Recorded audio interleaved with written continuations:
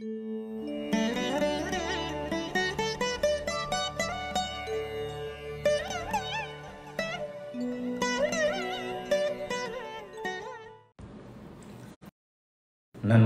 வணக்கம். எல்லோரும் நன்றாக இருப்பீர்கள்.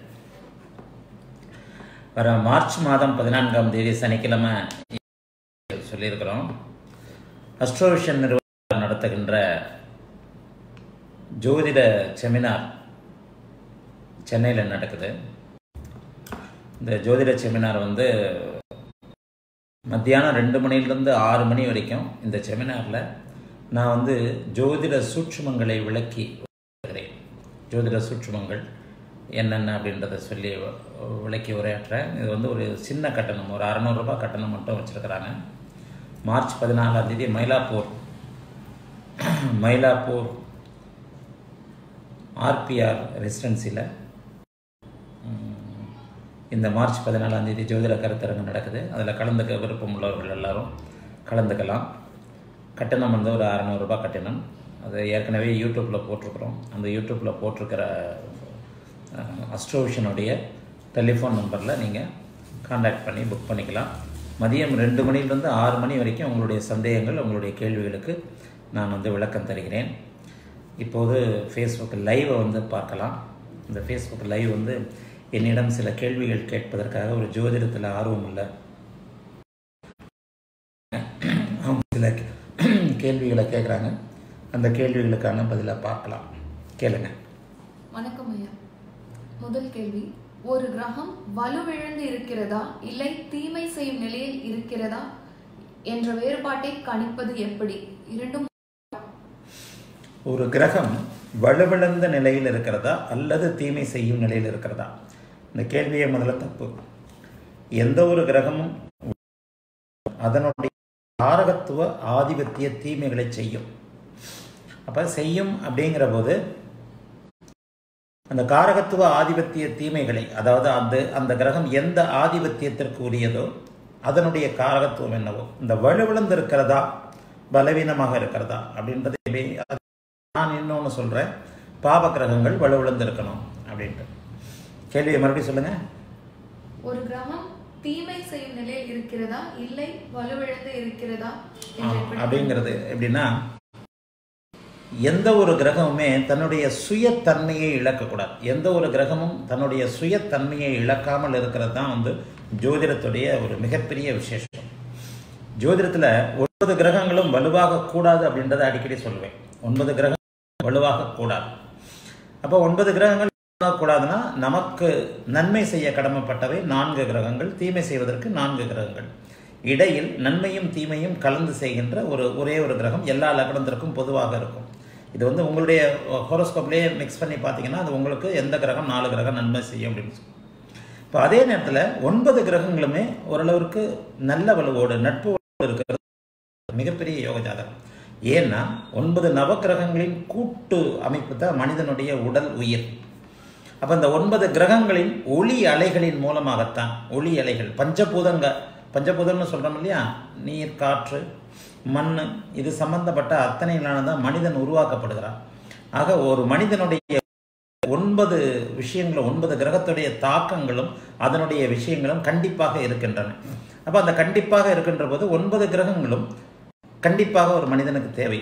அப்போ இதை இப்படி புரிஞ்சுக்கலாம் நீங்கள் நான்கு கிரகங்கள் அதிக வலுவுடனும் நான்கு கிரகங்கள் பல முற்றிலும் பலவீனமாகாமல் குறைந்த வலுவுடனும் ஒருவர் குறைந்த வலு அதிக வலு இதற்கு இடைப்பட்ட இடையில இருக்கிறது நல்லதுன்ற மாதிரி தான் நீங்கள் புரிஞ்சுக்கணும். ஜோதிடம்ன்றதே வந்து ரொம்ப ஒரு ஒரு ஆழமாக ஒரு நுட்பமாக சிந்திக்கக்கூடிய ஒரு ஒரு விஷயம். அப்போ இந்த நுட்பமாக சிந்திக்கக்கூடிய விஷயத்தில் நீங்கள் வந்து உங்களுக்கு எடுத்தேன் கவிழ்த்தேன் நாலு கெட்டு போயிடணும். நாலு நல்லதாக இருக்கணும்னு சொல்ல முடியாது. அப்போ எப்படிப்பட்டது? நான் அடிக்கடி சொல்லுவேன் ஒரு ஸ்பைரல் கேலக்ஸி மாதிரி ஒரு ஸ்பைரல் கேலக்ஸி மாதிரி கிரகங்கள் அமைகிறதுன்றது ஒரு மிகப்பெரிய யோகம். ஜாதகத்தில் கிரகங்கள் பரவலாக இருக்க வேண்டும். ஒன்றோடு ஒன்று தொடர்பு கொள்ளாமல் பரவலாக குறிப்பாக கிரகங்களோடு சேராமல் இருக்கிறது யோக ஜாதகம். ஒரு மிக முக்கிய ஜாதகங்களை பார்த்தீங்கன்னா ரொம்ப வலுத்த ஜாதகம் ஒரு அதிகாரத்தில் உள்ளவர் ஒரு பெரிய மிகப்பெரிய பணக்காரர். இந்த மாதிரியான ஜாதகங்கள் பார்த்தீங்கன்னா கிரகங்கள் அனைத்தும் தனித்து இருக்கும் சூரியன் ஆட்சியாக இருப்பார் புதன் உச்சமாக இருப்பார் சுக்கிரன் ஆட்சியாக இருப்பார் சனி தனியாக இருப்பார் செவ்வாய் தனியாக இருப்பார். ராகு கேதுக்கள் அந்த கெட்ட இடங்கள்னு சொல்லப்படுகிற அந்த அச்சில் இருக்கும். இந்த கிரகமாளிகா யோகா அமைப்பு இருக்கும். இந்த கிரகமாளிகா யோகா அமைப்பை பார்த்தீங்கன்னாலே அதை பற்றி நான் அதிகமாக பேசுவேன். எப்படின்னா கிரகங்கள் தங்களுடைய சுயத்தன்மையை இழக்காமல் ஒன்றோடு ஒன்று இணையாமல் இன்னொன்று பார்த்து கொள்ளாமல் தனித்தனி அமைப்போடு இருக்கிறது தான் கிரகமாளிகா யோகம். அதனால தான் அது கிரகங்கள் மாலை போன்ற தோற்றத்தோடு இருக்கிறது மிகப்பெரிய யோகம் பட்டது அப்போ இந்த வலிமை இழக்கிறதுன்றது எந்த ஒரு கிரகமே வலிமை இழக்கூடாது இப்போ நான் சொல்கிறது உங்களுக்கு குழப்பமாக கூட இருக்கும். சனி. நான் சொல்கிறது உங்களுக்கு குழப்பமாக கூட இருக்கும். நான் வந்து என்னென்னா சனி வந்து என்ன சொல்லுவேன்? சனி வந்து நேர்வலு அடையக்கூடாது. அப்போ கூட சனி வலு அடையக்கூடாதுன்னு தான் நான் சொன்னேன். நேர்வலு அடையக்கூடாதுன்னு தான் சொல்லுவேனே தவிர சனி வலு அடையக்கூடாதுன்னு சொல்லலை. லக்னாதிபதியாகி சனி கெட்டால் அப்போ லக்னமே கெட்டு போச்சுன்னு அர்த்தம். அப்போ சில சூட்சும விஷயங்களின்படி வலு இழந்தாற் போலவும் இருக்க வேண்டும். வந்து வலு இழக்காமலும் இருக்கணும். அப்படி தான் சொல்லுவேன். அதுதான் நான் வந்து ஒரு சில சூட்சும விஷயங்கள்னு சொல்லுவேன். அதாவது கிராமங்களில் சொல்லுவாங்க ஆடு மேய்க்க போன மாதிரியும் ஆச்சு அண்ணனுக்கு பொண்ணு பார்க்க போன மாதிரியும் ஆச்சுன்னுவாங்க. அது மாதிரி சில ஜோதிடத்தில் புரிஞ்சுக்கிறதுக்கு சில விஷயங்கள் ரொம்ப கஷ்டமாகத்தான் இருக்கும். அப்போ எந்த ஒரு கிரகமும் வலு இழக்கக்கூடாது அப்போ குறைந்தபட்சம் ஒரு நட்பு வலுவோடு இருக்க வேண்டும். அப்போ குறைந்தபட்சம் ஒரு நட்பு இருக்கிற நிலைமையில தான் வந்து ஒரு கிரகம் வந்து உங்களுக்கு அதற்கான காரகத்துவங்களை செய்யும். இப்போ சனி கெட்டால் சனி கெட்டால் வந்து ஆயுள் கெடும். சனி கெட்டால் ஆயுள் கெடும் கடின உழைப்பு கெடும். மக்களோடு தொடர்பு கொள்ளுகின்ற ஒரு விஷயம் கெடும் அப்போ இந்த மாதிரியான அமைப்புகள் கெட்டால் எல்லாமே மனிதனுக்கு தேவை இல்லையா எந்த ஒரு கிரகமுமே ஜாதகத்தில் நட்பு கிரகங்கள் உச்சம் ஆட்சி அப்படிங்கிற நன்மையில் உங்களுடைய லக்னாதிபதி அவரே பாபராக இருந்தால் மறுபடியும் அதில் உள்ள விதிகளுக்குள்ளே விதி விலக்காக வந்துடுவேன் சனியாக இருந்தால் ஆட்சி உச்சம் அடையக்கூடாது. ஏற்கனவே இந்த நேர்வலு எல்லாத்தையுமே நீங்கள் விதிகள் விதி விலக்குகளோடு பொருத்தி பொருத்தி பார்த்து தான் நீங்கள் கொண்டு போகணும். அப்போ எந்த ஒரு கிரகமுமே வலுவிழக்காமல் இருப்பது நல்லது. அப்படி வலுவிழந்தால் எந்த ஒரு அமைப்புமே பகை நீச்சம்னு சொல்லப்படுது இல்லையா அந்த பகை நீச்சம் பாவ கிரகங்களோடு சேர்க்கை. ஒரு கிரகம் செவ்வாய் சனி ராகுவோடு சேரும்போது அந்த கிரகம் தன்னுடைய காரகத்துவத்தை தராமல் தீமையை சரிகை செய்கின்ற ஒரு அமைப்பு. அதுதான் நான் பாபத்துவம்னு குறிப்பிடுறேன். எந்த ஒரு கிரகமும் செவ்வாய் சனி ராகுவோடு சேரும்போது அவை தன்னுடைய சுப கிரகமாக இருந்தாலும் பாப கிரகமாக இருந்தாலும் தன்னுடைய சுய இழந்து அப்படியே வந்து பாபத்தன்மையை அடையும். அதனால வந்து கிரகங்கள் வலு இழக்கக்கூடாது. எல்லா கிரகங்களும் நட்பு நிலைமையில் அமர்ந்த ஜாதகம் மிகப்பெரிய யோக ஜாதகம். சரி ஒரு கேள்வி உங்கள் பதிலிருந்து எழுந்தது இது. ஒரு லக்னாதிபதிக்கு பகை கிரகங்கள் என்று சொல்லக்கூடிய அந்த நான்கு கிரகங்கள் வலு குறைந்து இருப்பது நல்ல நிலையா? அப்போ கூட பகை நீச்சம் ஆயிடக்கூடாது நீங்கள் கேட்குறது ஒரு சென்சிட்டிவான கேள்வி தான் அப்போ லக்னாதிபதி எதிரி கிரகங்கள் வலு இழக்கலாமா? இழக்கக்கூடாதுன்னு தான் சொல்லுவேன். எந்த ஒன்பது கிரகங்களுமே பகை நீச்சம் அப்படிங்கிற அமைப்பில் லக்னாதிபதிக்கு எதிரி கிரகங்கள் அவைகள் வந்து அதுக்கு தான் அவயோக இடங்கள்னு சொல்லப்படுது. அந்த உபஜய ஸ்தானங்கள்னு சொல்லுவோம். மூன்று ஆறு பத்து பதினொன்றாம் இடங்கள். இந்த லக்னத்திற்கு எதிரி கிரகங்கள் லக்னாதிபதிக்கு எதிரி கிரகங்கள். உதாரணமாக ஒருத்தர் வந்து சுக்கரன் சனி புதன் இந்த மூன்று லக்கணங்கள்ல அந்த ஆறு லக்கணங்கள்னு சொல்கிறோம் இல்லையா? ரிஷபம் மிதுனம் கன்னி துலாம் மகரம் கும்பம். இந்த ஆறு லக்னங்களில் பிறந்திருந்தா அவர்களுக்கு சூரியன் சந்திரன் செவ்வாய் குரு இது வந்து அவயோக கிரகங்கள் எதிரி கிரகங்கள்னு சொல்லலாம். இந்த எதிரி கிரகங்கள் கூட வலுக்க வலு வலு இழக்கக்கூடாதுன்னு தான் சொல்லப்படுது. ஏன்னா பொதுவாகவே நான் சொல்லிடுவேன் குருவும் சுக்கரனும் வலிமையில தான் அந்த ஜாதகம். அப்போ அந்த மாதிரியான சூழல்ல லக்னத்திற்கோ லக்னாதிபதிக்கோ எதிரி கிரகங்கள் மூன்று ஆறு பத்து பதினொன்றுன்னு சொல்லப்படக்கூடிய உபஜயஸ்தானங்களில் அப்போ கூட நட்பு வழக்கல்ல இருக்கிறது நல்லது. பொதுவாகவே நீங்கள் கேட்ட கேள்வி நேர்முகமாக புரிந்து கொண்டால் பகை பெறக்கூடாது நீச்சம் பெறக்கூடாது. அப்படி பகை பெற்றிருந்தால் என்னுடைய அந்த நான் சொல்கிறேன்ல அடிக்கடி சுபத்துவம் அப்படிங்கிற அமைப்பின்படி சுபத்துவமாகவோ அல்லது சூட்சுமவல்னு சொல்கிறேன் கேதுவோடு சேருதல் திக்பலமாக இருத்தல் ஆட்சி உச்சமாக இருந்தால் மறை மறைவிடங்களில் மறைதல் இது போன்ற அமைப்புகளில் அந்த கிரகம் லக்னாதிபதிக்கு எதிர்த்தன்மையுள்ள கிரகங்கள் வலுவிழக்காமல் குறைந்தபட்சம் நட்பு வலுவோடு இருக்கிறது மிகப்பெரிய யோகம். நன்றி சார். அடுத்த கேள்வி. ஒரு கிரகம் தனது தசையில் தசாபுக்தியில் தனது எல்லா காரகத்துவங்களையும் பாதிக்குமா? அல்லது உயிர் காரகத்துவம் ஜட காரகத்துவம் என்ற வேறுபாடு இருக்கிறதா? தன்னுடைய தசா புக்திகள்ல எல்லா காரகத்துவங்களையும் பாதிக்குமானா கொடுக்குமான்னு கேக்குறீங்க. கொடுப்பதோ கெடுப்பதோ? உயிர் காரகத்துவம் ஜட காரகத்துவம்ன்றது பெரிய சப்ஜெக்ட் அதை பற்றி வந்து அடுத்து நான் எழுத போகின்ற சுபத்துவம் சூட்சுமம் உள்ள ஆட்சிகளில் அந்த உயிர்காரகத்துவம் ஜடக்காரகத்துவத்தை பேசலாம். ஒரு கிரகம் காரகம் அப்படிங்கிறது காரகத்துவத்தில் எந்த உயிரான ஒன்றை தருகிறதோ அது வந்து உயிர்காரகத்துவம்னு உயிரற்ற பொருட்களை தருவது ஜடக்காரகத்துவம்னு சொல்லப்படுகிறது. உதாரணமாக சூரியனுடைய உயிர்காரகத்துவம் தந்தை ஜடக்காரகத்துவம் தலைமை பதவி மற்ற விதமான ஆக்க ரீதியிலான தன்னம்பிக்கை அந்தந்த அமைப்புகள் அப்படின்னு சொல்லிடலாம். சந்திரனுடைய உயிர்காரகத்துவம் அம்மா. மற்றபடி ஜடக்காரத்துவம் அப்படிங்கிறது அதனுடைய பொருட்கள். அந்த திரவ ரீதியிலான பொருட்கள் காய்கறிகள் பழங்கள் திரவங்கள் வெள்ளை நிற பொருட்கள் அப்படின்றது ஜடக்காரகத்துவம். ஆமாம் வெளிநாட்டு வெளிநாட்டு பயணம் சந்திரனுக்கு மட்டும் உரியது இல்லை. சந்திரனுக்கு மட்டும் உரியது இல்லை. செவ்வாயுடைய உயிர்காரகத்துவம் சகோதரன் ஜடக்காரகத்துவம் அந்த மற்ற விஷயங்கள் கட்டிடம் மருத்துவம் விளையாட்டு அந்த பணிகளை தான் நீங்கள் ஜடக்காரகத்துவம் எடுத்துக்கணும். புத்தனுடைய உயிர்காரகத்துவம் மாதுளன் என்று சொல்லப்படக்கூடிய தாயுடன் பிறந்தவன். மாதா தாய் மாமன்னு சொல்லுவோம். அதே மாதிரி குருவினுடைய உயிர்காரகத்துவம் குழந்தை ஜடக்காரகத்துவம் பணம் குரு தருகின்ற அந்த தொழில் விஷயங்கள். இப்படி தான் நீங்கள் உயிர்காரகத்துவத்தையும் ஜடக்காரகத்துவத்தையும் புரிஞ்சுக்கணும். ஒரு கிரகம் தசா புக்திகளில் நல்லா ஒன்று புரிஞ்சுக்கங்க. அந்த கிரகம் தசை நடத்தும் போது அதனுடைய காரகத்துவம் அனைத்தையும் தரும். ஒரு கிரகம் தசை நடத்தினா அந்த கிரகத்துடைய அண்டர் டேக்கில் நீங்கள் வந்துடுறீங்க. உதாரணமாக சனி வந்து தசை நடத்துகிறார் அப்படின்னு சொல்லும்போது பத்தொன்பது வருடம் நீங்கள் முழுக்க முழுக்க சனியின் ஆதிக்கத்தில் தான் இருப்பீங்க யாராக இருந்தாலும். அப்போ சனியின் காரகத்துவங்கள் என்ன? அந்த சனியின் சுப அசுப விஷயங்களை பொறுத்து அந்த பத்தொன்பது வருடங்களும் கிட்டத்தட்ட சனியின் காரகத்துவங்கள் முழுமையாக உங்களுக்கு நடக்கும்.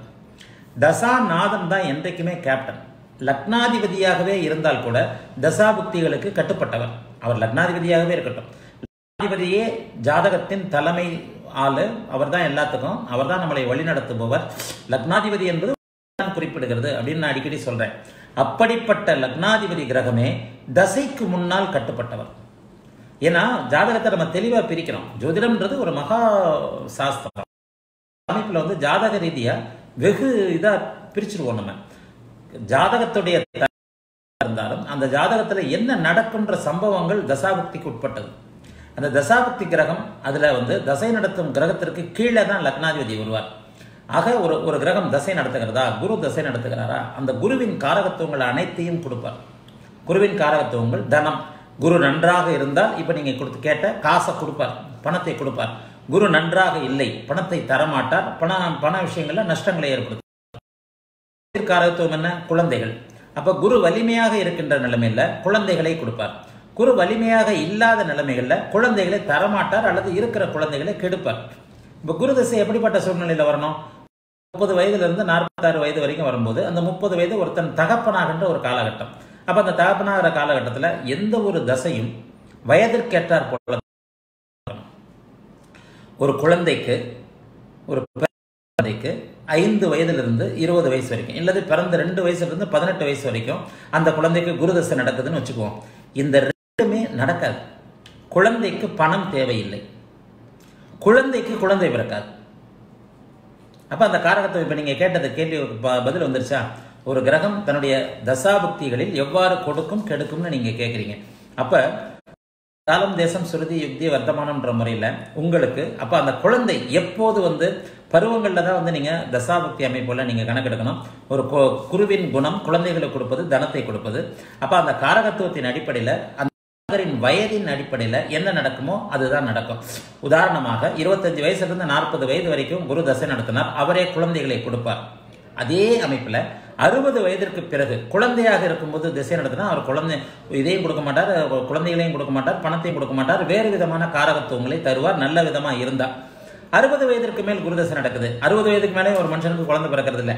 சில நேரங்களில் ரேராக எழுபது வயசுக்காரங்க கூட குழந்தை பெற்றுக்கிறாங்கன்றதை விட நம்ம வந்து பெரும்பாலோருடைய கருத்தை பார்த்தால் அறுபது வயதிற்கு மேல் இருந்தால் என்ன நடக்கும்? அதாவது அறுபது வயசுன்றது நம்முடைய ரிட்டையர்மெண்ட் வயசாயிடுது. ஒரு அறுபது வயசுன்றது அல்லது இன்னும் கூடுதலாக அறுபத்தஞ்சு வயசுன்னு கூட வச்சுக்குவோம் அறுபத்தஞ்சு வயசுல இருந்து எண்பத்தி ஒரு வயது வரைக்கும் குருதசை நடக்குது. அப்போது அப்போ என்ன நடக்கும்? அதனுடைய காரகத்துவங்கள் என்ன நடக்கும்? குருவின் குணம் தனத்தையும் குழந்தைகளையும் கொடுப்பது. அப்போது என்ன நடக்கும்? அந்த வயதிற்கு ஏற்றாற் போல குழந்தைகள் நன்றாக இருப்பார்கள். குழந்தைகளின் மூலமான தனம் இருக்கும். இப்படித்தான் நீங்க வந்து ஒரு கிரகத்துடைய காரகத்துவத்தை எடுத்துக்கணும்.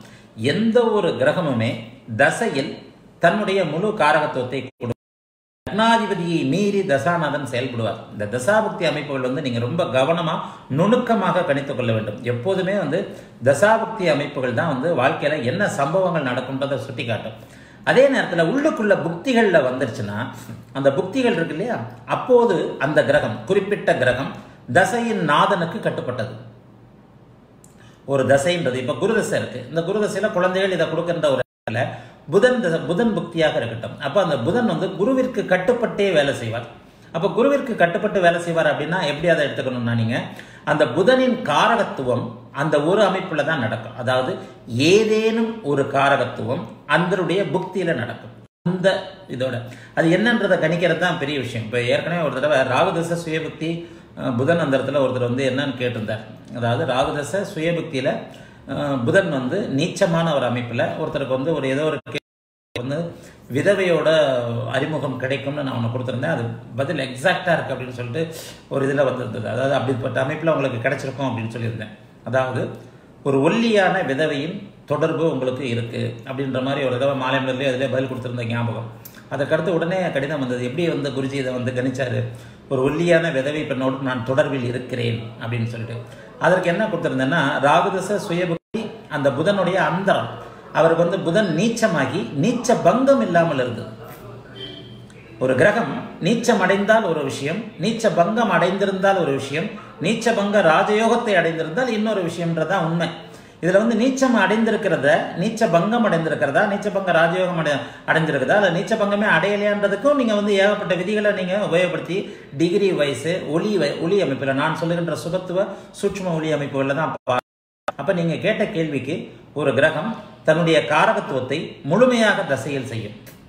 புக்திகளில் அது இன்னொரு புக்திகள்னு வந்துற போது அது தசாநாதனுக்கு கட்டுப்பட்டது என்பதால் அந்த புக்திகளில் அந்த பருவத்தில் அவர் ஜாதகர் எந்த வயதிற்கு அவருடைய வயதிற்கு ஏற்றாற் போல தசாநாதனுக்கு கட்டுப்பட்டு புக்திகளில் தன்னுடைய ஒரு காரகத்துவத்தை தான் எவ்வாறு வலுவிழந்திருக்கிறது அல்லது பலம் பெற்றிருக்கிறது அப்படிங்கிறத பொறுத்து செய்யும். அதாவது இப்போது நான் சொன்னதைப் போல ராகுதச சுயபக்தி புதன் அந்தரம் ஒரு ஐந்தரை மாத காலத்தில் உங்களுக்கு ஒரு ஒல்லியான விதவை பெண் அப்படிங்கிறத நான் ஏன் அப்படி அதில் குறிப்பிடுறேன் அப்படின்னு சொன்னால் புதன் நீச்சமாக இருக்கும்போது விதவை பெண்ணுகிட்ட தொடர்பு கிடைக்கிறதுன்றது ஒரு நீச்சமான அமைப்பு. அது வந்து ஏற்றுக்கொள்ள முடியாத ஒரு அமைப்பு. ஒருவருக்கு வந்து ஒரு பெண் தொடர்பு கிடைக்குது. அந்த பெண் தொடர்பு கள்ள தொடர்பாக இருந்தால் நம்ம அவரை ஏற்றுக்கிறது இல்லை சமூகத்தில் வெளியே சொல்ல முடியாத விஷயங்களில் கள்ள தொடர்புகளும் உண்டு. தொடர்புகளில் ஒரு விதவையாகவும் ஒரு இதாகவும் இருக்கிற ஒரு விஷயம் வந்து வெளியில் சொல்ல முடியாது. அப்போ அந்த வெளியில் சொல்ல முடியாத விஷயங்களை ராகு செய்வார் சில நேரங்களில். நீச்சம் மட்டுமே அடைந்திருக்கிற புதன் வந்து கடுமையான கெட்ட விஷயங்களை தான் செய்வார். அந்த அமைப்பின்படி அவருக்கு நான் அந்த பலன் சொல்லியிருந்தேன். அதுவும் அது சரின்னு சொல்லிட்டு உடனே வந்து அவர் எனக்கு பதில் கொடுத்து எப்படி கணிச்சிங்கன்னு கூட கேட்டிருந்தேன் இப்படி தான் நீங்கள் எடுத்துக்கணும். அந்தரம்னு உள்ளே வந்தாலும் அப்படி தான் இப்போ அந்த அந்தரம் இந்த மூன்றுக்கும் மிக மிக முக்கியம். அந்தர லெவலில் நீங்கள் எப்போ வந்துடுறீங்களோ அப்போ நீங்கள் கோச்சார நிலைமைக்கு வந்துடணும் எப்போது கோச்சாரத்தை நீங்கள் எடுக்கிறதுனா அந்தரம் என்பது குறுகிய ஒரு அமைப்பு. ஐந்தரை மாதத்துலேருந்து அஞ்சு நாள் வரைக்குமே அந்தரம் வரும். மிக மிக அப்படியே சின்னதாக போயிட்டீங்கன்னா பதினஞ்சு நாள் இருபது நாள் ஒரு மாதம் இப்போ இந்த பதினைந்து நாள் ஒரு மாதம் ஒரு நாள் ஒரு ஒரு ஒரு ஒரு வாரம் போன்ற அந்தர கிரகங்கள் என்ன செய்யும் அப்படிங்கிறத நீங்கள் கணிக்கும்போது நிச்சயமாக அன்றைய கோச்சார நிலைப்படி அந்த கிரகம் எந்த அமைப்பில் இருக்கிறது? அன்றைய கோச்சார நிலையில அந்த கிரகம் நல்ல வீடுகளில் இருக்கிறதா? அது வலு இருக்கிறதா? அப்படிங்கிறத கெஸ் பண்ணி தான் நீங்க அந்த கிரகம் அந்தரத்துல எந்த காரகத்துவத்தை எப்படி செய்யும்னு சொல்ல முடியும். ஆக ஒரு கிரகம் தசையில முழு காரகங்களை செஞ்சிடும் புக்திகள்ல வந்து அந்த வயதிற்கேற்றாற் போல தசாநாதனுக்கு கட்டுப்பட்டு செய்யும் அந்தரமும் அப்படித்தான். நன்றி சார்.